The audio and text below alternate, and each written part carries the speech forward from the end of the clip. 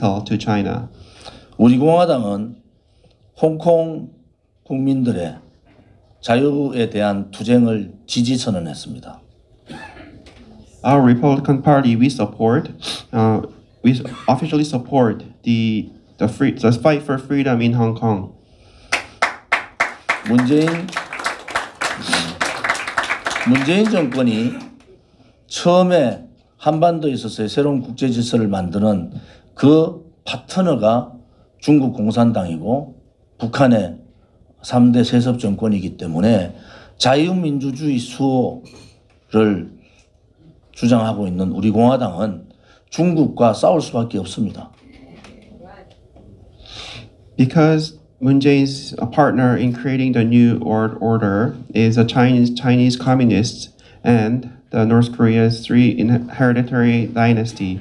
So, uh, our Republican our Republican Party, which advocates defending the liberal democracy uh, in South Korea, we must also fight China.